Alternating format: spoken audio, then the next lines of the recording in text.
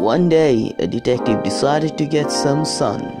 So he took a break from his work and planned to spend a few days at the beach.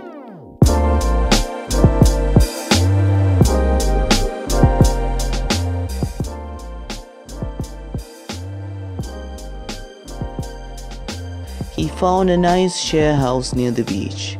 The place was already occupied by Clark, Mark, and Sophie, but there was still space for one. So, how many can stay at this place in total? In total, four can stay at this place. Well, that is not the question, just making sure that you are following. As the house can be occupied by four, to stay at this beach house and he gets three new housemates. On the first day, the detective went for a swim and when he returned, he found that his watch was missing. Fortunately, the detective came across an undercover agent who was working as a cleaner. This undercover agent was from Spain and apparently didn't speak much English. Without any exchange of words, the undercover agent passed a note to our detective and moved a little bit away.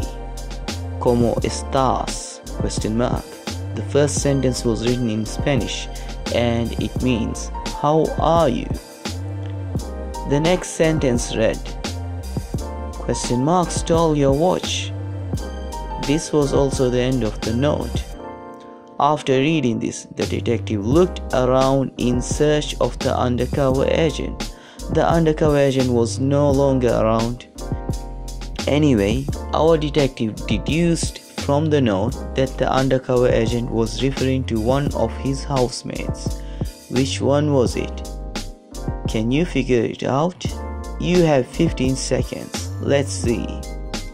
Is it the innocent looking Sophie? She seems to be trying too hard to look cultured by wearing a dress from another century.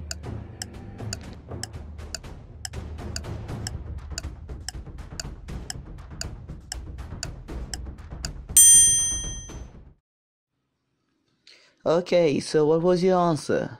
The correct answer is Mark. Remember, the note said, question mark, stole your watch. Question mark, Mark. Get that?